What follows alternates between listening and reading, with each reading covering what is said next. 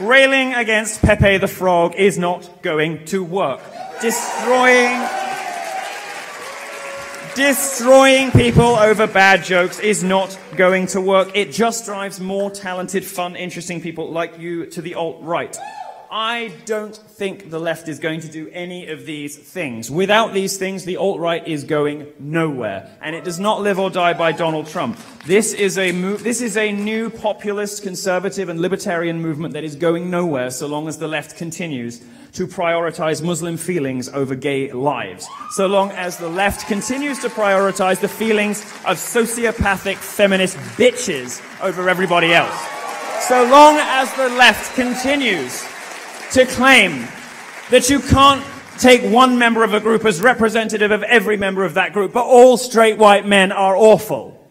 So long as the left continues to welcome in terrorism to Western countries, so long as the left language polices and nannies and mollycoddles people, tells you what you can say, what you can do, who you can hang out with, what language you can use, what clothes you can wear, how you can do your hair, particularly upsetting for me. I might like dreadlocks. I think I'd, I think I'd look hot in dreadlocks.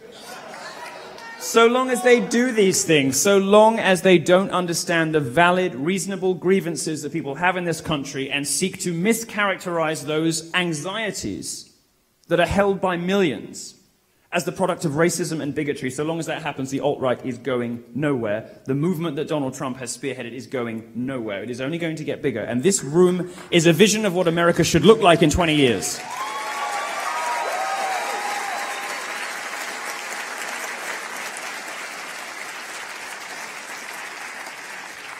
Systemic racism and white privilege are bullshit. They don't exist. They are systems designed to justify other people's prejudices about you. And it is time to start calling them out. And the best way you can do it is at the ballot box in this election, but you can also do it by coming to talks like this. You can also do it by being the mischievous, trolly, dissident shitlords I know you all are.